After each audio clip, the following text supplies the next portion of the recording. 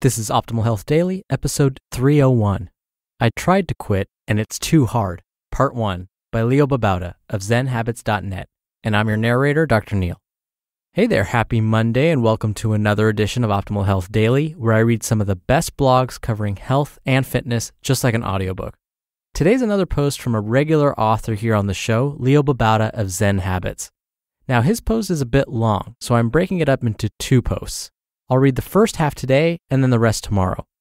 Before I get to Leo's post, don't forget that we have four other podcasts where we narrate blogs for you. To check them out, just search for Optimal Living Daily wherever you're hearing this show. As you're soon going to hear, Leo's going to talk about breaking habits. So today's inspirational quote comes from the great Mark Twain. Quote, Quitting smoking is easy. I've done it a thousand times. End quote. That's so true, isn't it? In the beginning, it's kind of easy, and then it's maintaining the habit that's really difficult.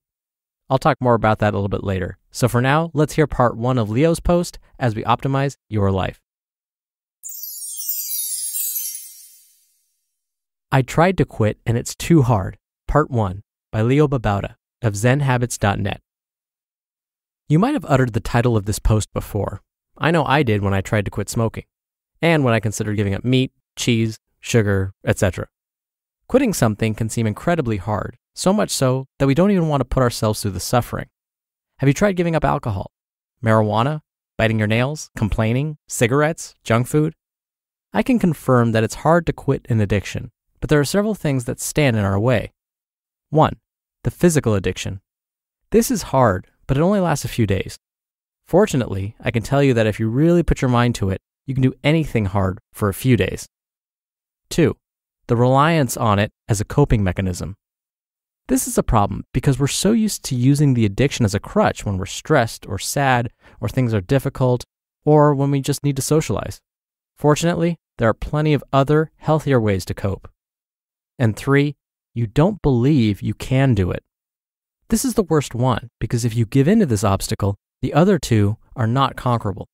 Fortunately, this one is entirely self caused, and so the solution is entirely within our hands. Because it's so important, we're going to focus on the last obstacle first. You think you can't. You've heard of the little engine that could. Well, our brains are the opposite. They're the little engines that think they can't. And they are amazing at rationalizing why. Just try giving up something that you rely on. At first, you might start to think, oh, this isn't so bad. In fact, I'm kind of excited about it. But then, when things get a bit difficult, your mind tends to think things like, this is too hard. I can't do it. I want to give up. And then you start to ask, why am I doing this to myself? Life is too short to suffer so much. Then you think, just once, one little time won't matter. No one will know. One exception won't hurt anything. It's the long run that matters. Except that one exception can hurt. It leads you to the same rationalization the next time. And then, in your mind, you're not quitting anymore. Our minds get in our way. So, what can we do? Well, luckily, this is entirely fixable. We just have to 1. examine our beliefs, and 2. change them. Yes, our beliefs are changeable. I know because I've changed numerous beliefs and tested those new beliefs with self experiments and found the new ones to be true. The old beliefs will be true too if you believe them. Experience will bear out the beliefs getting in your way if you believe them. But experience can prove better beliefs to be true too if you're willing to give them a try. Let's take some examples of beliefs that stand in our way. Old belief I'm a smoker who's trying to quit, but it's hard. New belief I don't smoke. I'm a non smoker. It's who I am. Here you're changing your self identity. Old belief I can't do it if it's too hard. New belief I've done hard things before. I can do this if it's hard. In fact, I'll take it as a personal challenge. Old belief It won't hurt to do it just once. New belief it will hurt my trust in myself, which is more important to me than some momentary pleasure. Old belief I need my fill in the blank cigarette, beer, meat, cheese, sweets. New belief I don't need it. It's unnecessary and causing me harm. Old belief I have a complicated emotional past with food and can't do it. New belief I can focus on the moment instead of the past. I have the power to decide what goes in my mouth. It's not complicated, it's simple, one step at a time. Old belief. This makes me feel better, comforted. more pleasure, more joy, etc. New belief. It actually makes me feel worse. I don't want to do that to myself. I'm going to love myself by doing things that are better for me. Now, again, these are only examples. There may be numerous other beliefs that you have about the issue of quitting, but you can't change them if you don't know they're there. Pay attention to what you're saying to yourself. Examine your beliefs and hold them lightly. They aren't necessarily true, and in fact, I don't believe they're true at all. It's just the scared child in you wanting to be comforted. To be continued. You just listened to part one of the post titled, I Tried to Quit and It's Too Hard by Leo Babauta of ZenHabits.net. And like I said at the top of the show, I'll read the rest for you on tomorrow's show. So, like I predicted, Leo even mentioned the novelty of changing a new behavior. In the beginning, it's kind of new, maybe it's even fun, but it's something you're motivated to do. But then it's the maintenance that gets in the way, right?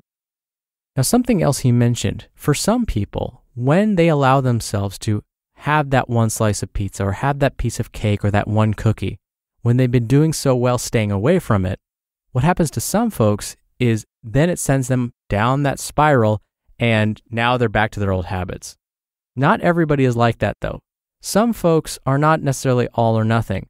They can enjoy a cookie here and there and still, for the most part, maintain their habits. So, this is a very individualized thing. If you know by having one piece of cake, one cookie, a little bowl of ice cream is going to send you down your old path, then it might be best to stay away from it right now. But if you know you can indulge a little bit and still continue on your overall trend towards whatever goals you've set for yourself, then that's okay too.